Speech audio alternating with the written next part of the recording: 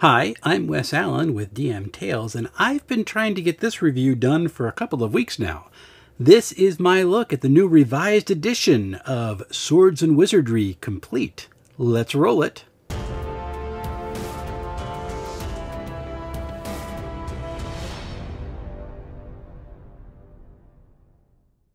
Thank you to all my patrons for supporting this channel. You make a lot of things possible, and if you would like to join in, check the description below. This is an update to the old Swords and Wizardry Complete, which was published by Frog God Games.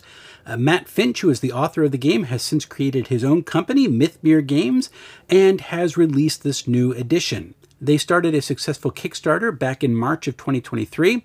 The promise at the time was that the books would be shipping at about November of 2023, which is a really fast turnaround for a Kickstarter if you've had any experience with that.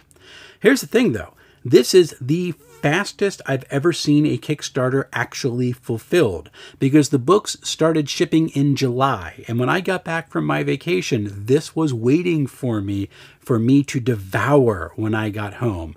Really, really cool. Now, Matt had already pretty much had the book done by the time the campaign for the Kickstarter actually started, but even so, being able to navigate through the printing process to get the books out that fast is really impressive, and I have to tip my hat to Mythmere Games for actually pulling it off. It is remarkable. In the Kickstarter, I opted for the traditional offset hardback book, which is absolutely beautiful. It is a full-size book at 8.5 by 11, which is the same dimensions as the previous version of the game. The logo on the front is done by Erol Otus. Uh, he also did the cover for the last Swords and Wizardry Complete, so it's a nice continuity there. Uh, he also did the cover for the softbound edition, uh, or for the print on demand edition, I should say, and that is absolutely beautiful. And I have to say, I'm probably going to pick up that version of the book as well once it's available for general purchase, because it is absolutely lovely. There's nothing on the interior pages, so that's a little bit of a disappointment. I would have loved to have seen that opened up to some more artwork of Erol Otus, for example. The book is also printed on semi-gloss paper, so it's going to have a little bit of a glare when you're reading with direct light sources around. Uh, that is, uh, I mean, it's okay. It's not too distracting, and it's not such a high gloss that it's really annoying, but I miss my flat paper for reading books. It's just so much cleaner of an experience. There's also no book ribbon in this offset print book, which I love my book ribbons, but the book is so short, it's not really that big of a deal all in all, I love the way that this book turned out. In fact, the gold ink on the outside cover of the book in the hardback edition is absolutely beautiful. It just pops. And it's really cool because if you read the back of the book, and I'm not going to give it away, there is actually a quote from Led Zeppelin that explains why it is that there's gold ink on this book, which I thought was a really nice touch. This, if you can get a hold of it when it becomes generally available, this is going to be one you want to have on your shelf. The layout of this new version is a lot lighter. It's very clean compared to the older edition. The previous edition of Swords and Wizardry Complete was very heavy. Uh, lines were very thick. The heading fonts were this very stylized font that had a very thick weight to it. All the dividing lines on it were very thick as well. It had a very mid 2000s aesthetic to it with this heavy dividers between the table rows and all the very different dark colors for the alternating rows and tables. All these things kind of poured together to create something that had a lot of gravity to it. And it was really good. And in fact, when I read Swords and Wizardry last year, the previous edition that is, I still thought it was very attractive and it looked really nice. Everything about that heaviness of the older edition, however, has been now toned down. Lines have become a lot thinner. Instead of the very heavy uh, heading font that's very stylized and decorative, it's now using a very clean and classy looking sans serif font. There's also no headers in the book. Instead, on the first page of each chapter, the chapter title is actually rotated 90 degrees and stuck as a large sans serif font uh, on the right page of the spread. And then in subsequent pages for that section, you're going to have a kind of a ripped paper texture on the right page of that spread uh, with the 90 degree of a smaller version of that sans serif font declaring what section you are in. It, again, like everything else in this layout, it's very, very clean. It gets out of the way, but when you need it, it is there for you. Footers are also very subtle. On the left page, you have your page number, the book title. On the right page, you have your section title, followed by the page number. Really fast, really clean. It is a classic looking book uh, that is a, really a joy to look at. The tables have been retooled. There's no longer the heavy separator lines from one row to the next or one column to the next. It allows you really to use your eyes to track across. The alternating row colors have also been toned down, so it's a lot easier on the eye. You don't get as tired as you're reading through the book. All told, the design is very clean. It is very light. Things like lines and dividers and all that are very thin it's very easily readable and it's visible. You can notice it, but at the same time, it gets out of the way so you can read the book. And I find that to be a very remarkable accomplishment. The artwork is also wonderful. It is mostly inked line art, absolutely stunning, really evokes that old school feel of the game books of old. Uh, I would have liked to have seen more of this incredible artwork in the bestiary. Um, that's going to be a universal want, I think, through every book that I go through because art is expensive and to, to throw more artwork inside the bestiary for all these different creatures that you're describing, particularly for ones that people have seen in their imaginations for years if they're playing old school games, gets real expensive. And not only that, it increases page count number, which is also something you have to be cognizant about when you're creating these books. So I would have loved to have seen more artwork. I'm hoping some more official artwork might come out as a supplement for things like VTT tokens or something, because I'd like to see their take on these wonderful old school creatures. Um, but all told, the art is very pretty and it's a nice to flip through the book, particularly when all the character classes are introduced. Some really great portraits of each of them. It's a great update to the game. So if you're not familiar with Swords and Wizardry, it is actually an original or OD&D retro clone. And it is a faithful representation of that game, but it adds some of its own goodies. For example, instead of having the full list of different categories of saving throws that you would have had in the old school game, many of which seemed arbitrary for what you used depending on the situation. Swords and Wizardry just gives you a single saving throw number for your class that you can modify for your class based on your level or your race that you're using at the time. And the GM can then alter that saving throw depending on the situation. Really fast and really flexible. It's something I really like. I appreciate it a lot about Swords and Wizardry. Also, the game does include a rule for ascending armor class instead of descending armor class. The default is descending armor class, so you still have all your old attack matrices, but in each character, or each NPC or monster, there's going to be a bracketed number there that's going to be their ascending AC. And then on page 39, there is actually a chart that's going to explain how you give your character an attack bonus if you don't want to use those attack matrices. I like how Swords and Wizardry is able to blend together two different versions of playing the game while keeping the math all the same. And they do this a whole lot because even with saving throws, they give you alternate versions of if you want to use the old categories, here they are. This is something you can do. They do it for armor class, as I said. They also do it for the way that combat can be handled. All told, Swords and Wizardry really tells the person who is reading the book and preparing to run the game, make this your own. Here are several ways that you can do things, but none of them are as valid as what you want to do at your table. That's really cool. But it doesn't just leave you hanging on the branch all on your own if you've never done this before. It will often present you with one, two, or even three ways of doing something and say, here are some ways that we did it back in the day. If you would like to use these or hack them, there you go all told, the way this is presented is inviting, it sparks an imagination, and it encourages GMs and players to hack the game to make their table their own. And the permission to hack it is right there in the official core rulebook. That's something that I really love. Now, there are the six core key attributes that everybody knows and loves who has ever played Dungeons and Dragons. However, in this game, there's no point buy or standard array. You roll 3d6, and the rule as written typically is to go straight down the line. Although, again, a GM is encouraged to allow people to modify where they're putting their abilities depending on the needs of the table. What is really different, however, are the fact that modifiers are so much smaller. A lot of them only have a minus one or a plus one to their different modifiers that they give you.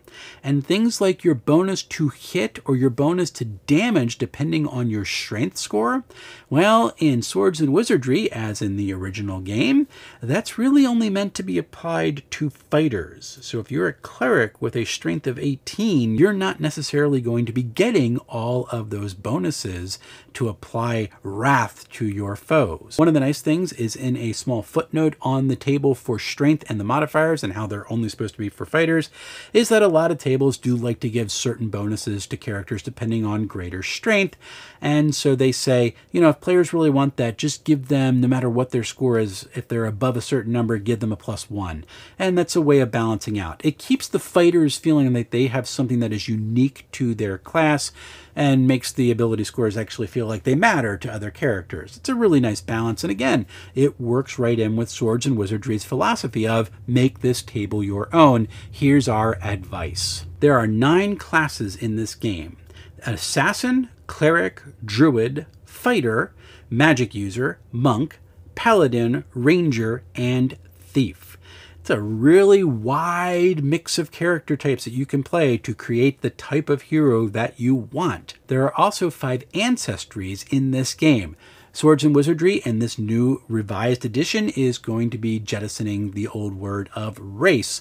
They're going with ancestry now, and they're pulling in the idea that culture can be part of this as well. So you have the classic ancestries dwarves, elves, half elves, humans, and halflings. Your ancestry is also going to limit your character type that you can generate. This goes back into old game balance because ancestries have special abilities that some others do not. And so you're trying to keep the power at least a little bit balanced between the different characters. So certain ancestries are only going to be able to choose certain classes if they're going to be a PC.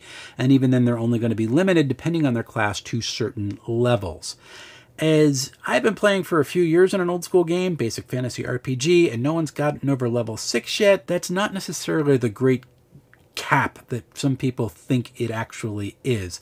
A lot of people don't ever get past level 6. There are two basic alignments for characters to choose from to play that is law and neutrality.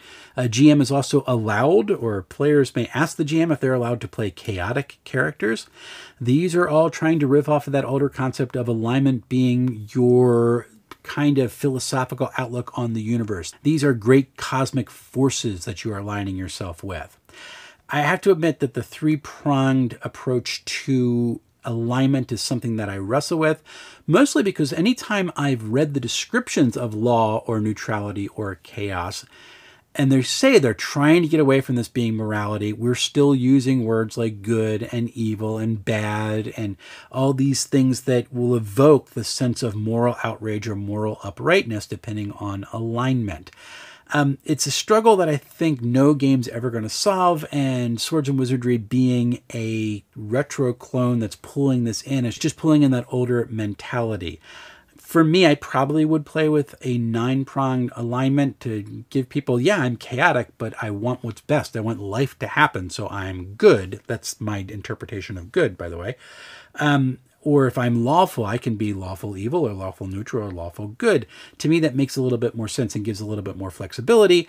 But more likely than not, I'm going to play Swords and Wizardry the way that I play Basic Fantasy because in Basic Fantasy, there is no alignment system. Your character's alignment is what they do. So if they do good things, well, then they're good. If they do lawful things, then they are lawful. I like that idea of letting alignment kind of be emergent inside the system rather than being assigned at the beginning. Now, the bulk of your experience points inside Swords and Wizardry is not going to come from killing monsters, it's going to come from treasure, because one gold piece equals one experience point. So your characters do not want to become murder hobos. In fact, that's a very dumb thing to do, because most of the things that you encounter inside a game, especially at low levels, can just kill you. So you want to get to the treasure as quickly and with as little combat as you possibly can combat should feel dangerous. So if you can negotiate your way through through a pass or an impasse, if you can sneak your way through to the treasure hoard and get away with it without having to have a big massive fight, that is actually really beneficial. Fighting is not your first or only option inside older school gaming, and that's one of the things I appreciate about treasure being one of the ways that you gain experience point or the majority of the way that you get your experience points. Now your character attributes because your modifiers are so small are not necessarily the key to your character gaining power. Instead, each of your classes is going to have key attributes or core attributes, and if your player character has a score that is over 13, you are going to get a certain bonus for that. So if your primary attribute is 13 or above, you get a plus 5% in all experience earned. But in addition to that, if your wisdom is 13 or above, you get another 5% experience point earned. And if your charisma is 13 or above, you get another 5 percent on all experience points earned. So if you have a 13 or higher in all three of those traits, your primary attribute, wisdom, and charisma, you can get 15% added to all the experience points that you earn. That way, the ability scores are getting you developed faster as a character to get to more higher levels where you can survive longer and do more cool, wacky things. Really nicely done. Spell descriptions are presented in the book in alphabetical order. There are actually two indexes at the beginning of the spell section. Uh, the first is by their spell name and their page number next to it. The other is listed by spell class and their level, so they're grouped that way. So two indexes for the spells is really nice, and alphabetical listing of the spells in order is also really nice. This is one of the cool things that I think more modern presentations of these old school games have come up with, because I used to hate having to figure out, wait a minute, what level spell was this, I have to flip to this page instead of here. Alphabetical makes so much more sense. Really well done. The spell descriptions themselves are short, simple, and clean. They have the spell level, their range, and their duration. There is a short paragraph describing the effects of each of these spells, and there's sometimes a table to determine the type of effect or success the spell is having.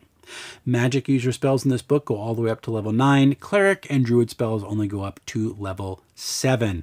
Different type of casting, different extent of the power of the spells.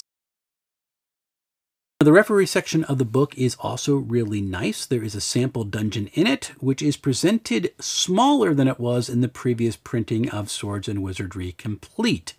The presentation of the sample dungeon actually keys rooms one through five as an example, but there are many more rooms to fill in. Inside the section of the book is some nice, simple advice on how to balance a dungeon crawl between monsters, traps, and treasure. Really well done. Uh, there are some clean tables for generating what type of encounter you're going to have in any given room. So this is presented here almost like a B1 in Search of the Unknown that you can go through and key this room all by yourself and then run your players through it using the tools that are found in the book.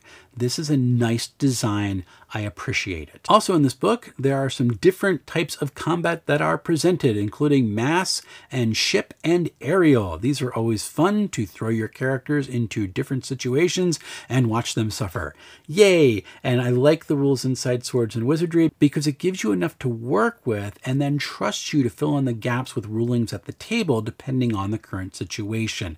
As with everything Swords and Wizardry does, giving you freedom to develop the game as as you need it for your table, that's really key and core to its nature.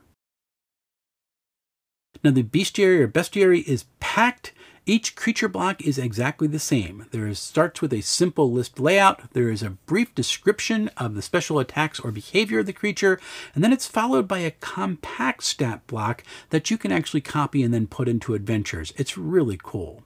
But there was one confusing thing for me because movement has changed in this edition, the complete revised edition, compared to the previous edition. So there's a single number for movement in each creature's stat block, like 9. There's no measurement given for it. There's no what concept is. Is it feet? Is it inches? What is it? That's all that it is. Then, what you are told later on as you read is that the movement rate for combat is to take that movement rate of 9 and times it by 10, and that is their combat movement. So, a goblin, which has a movement of 9, suddenly has a combat movement rate of 90 feet. This seemed a little much for me, particularly because in the previous edition of the game, as which tracks with a lot of old school games or retro clones, if you had this type of calculation, you would do 9 times 10 and then divide it by 3. And that was their combat move per combat round. A lot of people assume that the movement rate that is in the different stat blocks was for movement by turn, which is about 10 minutes as you were crawling through a dungeon.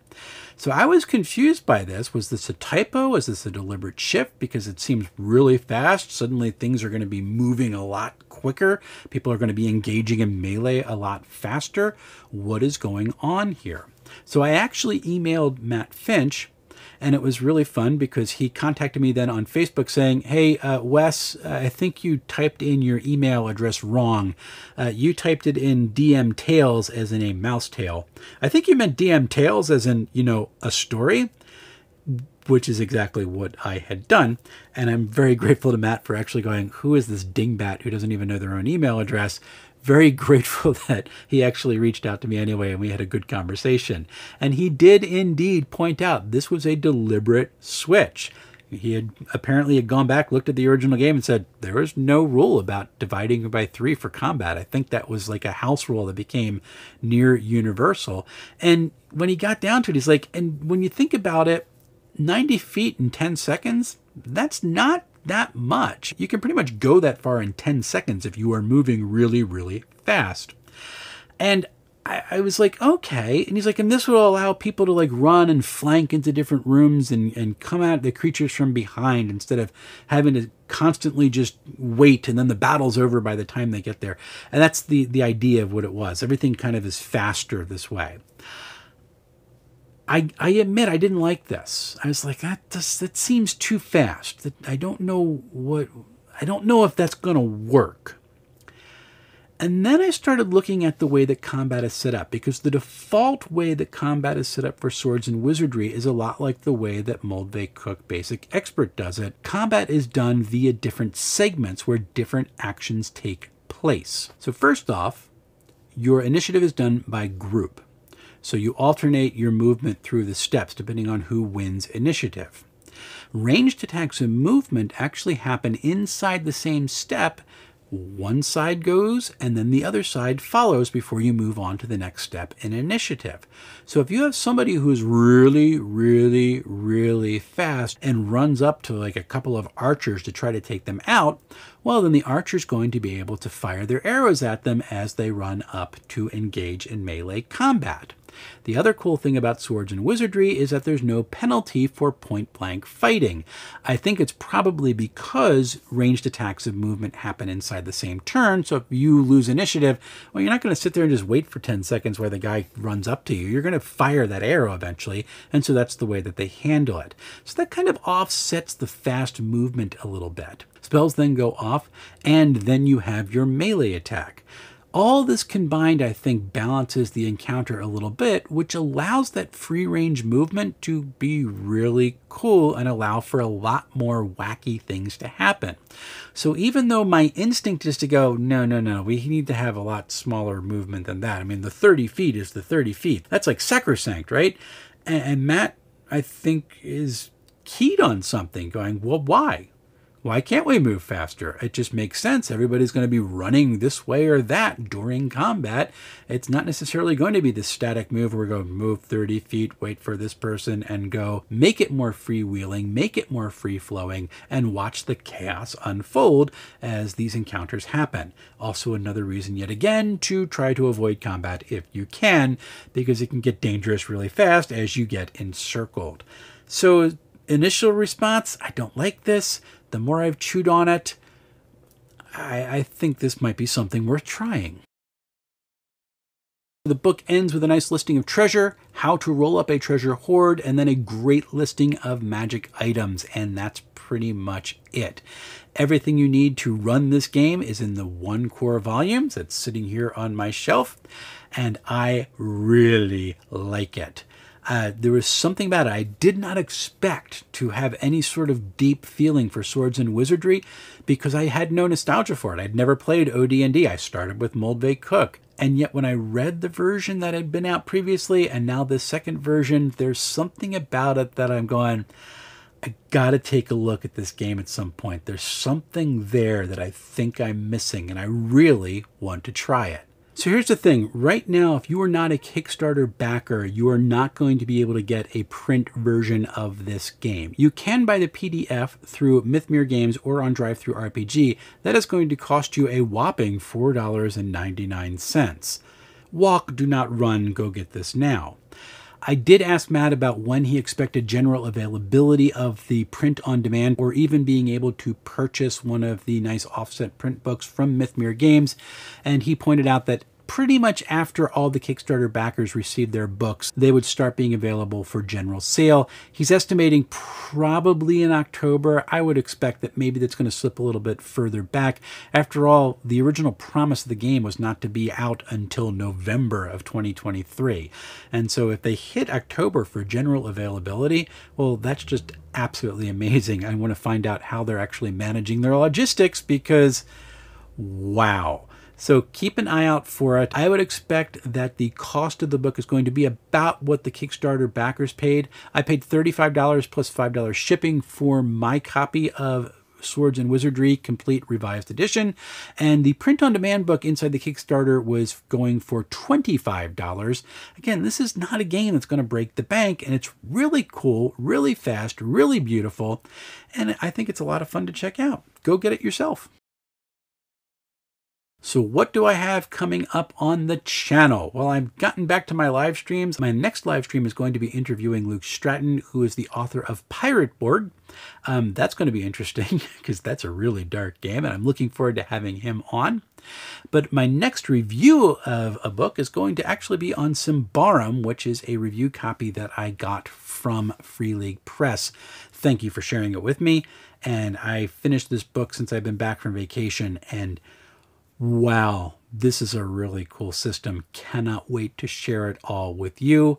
After that, I've got Dragonbane to look at, Marvel Superheroes, Marvel Multiverses come in. I have got Fantasy Age 2.E uh, that I pre-ordered ages ago that showed up while I was on vacation. Got a lot of books waiting for me when I came back from vacation, uh, and I'm really looking forward to it. I also have the Savage Worlds Adventure Editions Fantasy Companion, which I'm about a third of the way through at this point. Not sure where my review order is going to stand. If you want to join my Patreon, I do have a have a pull up right now that you could actually vote to help direct where my next reviews go after Symbaroum. Uh, that's always out there for you. Um, but that's going to be a lot of fun, and I'm looking forward to it. So until we see each other again, folks, happy playing, everyone.